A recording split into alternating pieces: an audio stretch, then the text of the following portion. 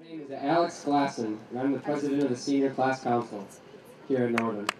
I, like many of you, am planning on attending prom in a few weeks. The members of the senior class should understand that prom is a time for celebration and fun, but it should also be taken seriously. Many people don't understand the seriousness of a car crash. What you're about to see is a mock accident. It is an accurate depiction of the process and time frame of a real car wreck.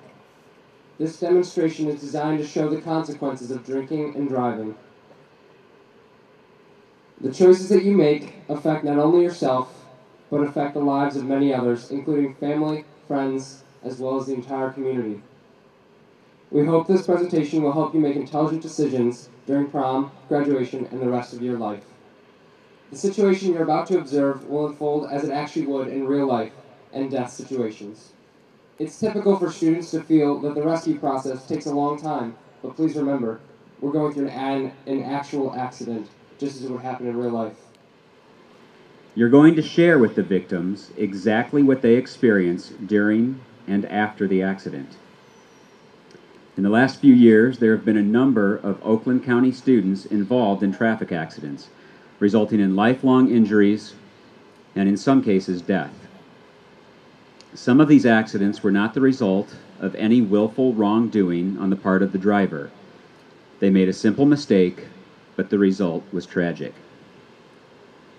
I realize that statistics are usually boring, but it is a fact that when young adults, people your age, are involved in a fatal crash, the passengers are killed more often than the driver.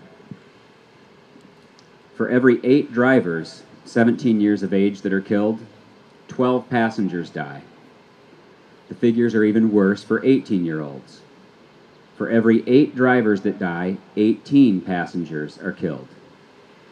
The leading cause of death in young people within your age group is motor vehicle accidents and 50% of all traffic accidents are alcohol related. On impact, Jenny was thrown through the front windshield. Her body, moving at 65 miles per hour, was thrown onto the hood. The significant impact causes massive head and brain injuries, large tears in the lungs and the liver, as well as bruising on other internal organs. From these injuries, Jenny loses massive amounts of blood.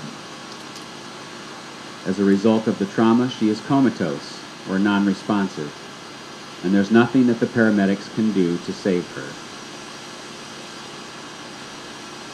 Jenny does not have a pulse or blood pressure, and she is pronounced dead on the scene.